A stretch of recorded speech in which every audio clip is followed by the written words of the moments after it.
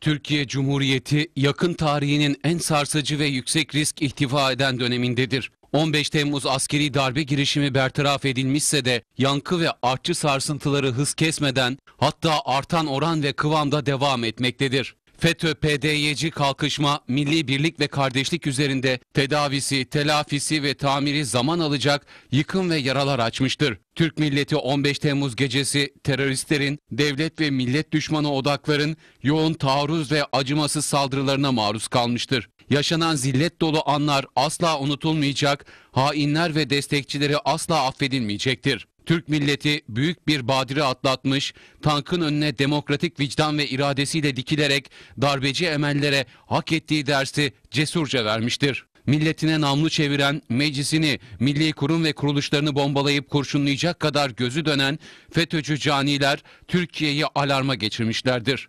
Halen yakalanamayan, ele geçirilemeyen darbecilerin varlığı bunlardan kaynaklı stratejik hedef ve kişilere suikast ve sabotaj ihtimalleri elbette toplumsal korku ve kaygıları canlı tutmaktadır. Ülkemiz istikrarsızlığının koyu sisi altında her tarafı hakimiyeti altına alan bulanık ve kuşkunun dar koridorundadır. Devlet yönetimi haklı olarak tedirgin ve telaşlıdır. Özellikle yargı, eğitim, üniversiteler, bürokrasi ve emniyet alanlarında olmak üzere on binleri bulan açığa alma ve tasfiye işlemleri paralel çetenin nasıl ve nerelere kadar yuvalandığını da çok açık göstermektedir. Önemli ifade etmek isterim ki bu toplu görevden el çektirme ve tutuklama tedbirleri yoğun şekilde uygulanırken hukuk dairesinden çıkmamak, masum ve suçsuz kamu görevlilerini mağdur etmemek asıl ve şarttır. Devletin ana vasfı intikamcı davranmaması, kin ve garezle önüne gelene suç isnat etmemesidir. Hukukun üstünlüğüne riayet ve demokrasinin kılavuzluğuna bağlılık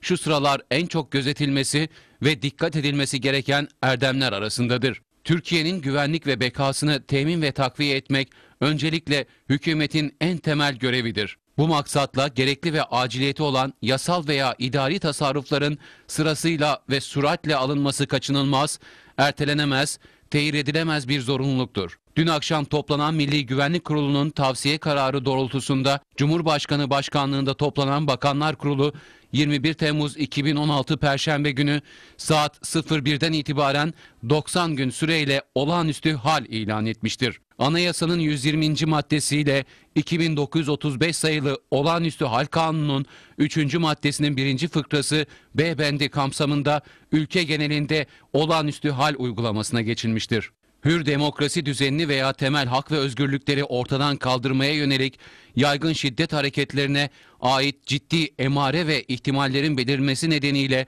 bu anayasal rejime başvurulmuştur. Milliyetçi Hareket Partisi Türkiye'nin oldukça kırılgan ve hassas bugünkü ortamında devreye alınan olağanüstü hal kararını desteklemekte hayırlı bulmaktadır. Partimizin daha önce de şiddet ve terör olaylarının artması karşısında muhtemel vahim olayların önüne geçilebilmesi amacıyla olağanüstü hal ilanı konusunda hükümete çağrı ve teklifte bulunduğu bilinen bir husustur. Nitekim 15 Temmuz'dan itibaren Türkiye'nin olağan dışı bir döneme girmesi nedeniyle siyasi yönetimin buna müzahir hareket etme mecburiyeti doğmuştur. Türk Silahlı Kuvvetleri'nin içine sızmış teröristlerin ağır silahlarla havadan ve karadan devletine ve milletine kastetme niyeti 248 vatan evladının şehadetine yol açmaları istikrarsızlığı körüklemiş, ülkemizin itibarına gölge düşürmüştür. Bu nedenle ülke genelinde olağanüstü hal uygulaması isabetli ve yerinde bir tercihtir. Milliyetçi Hareket Partisi böylesi karanlık ve oldukça sıkıntılı dönemde devletinin ve milletinin yanında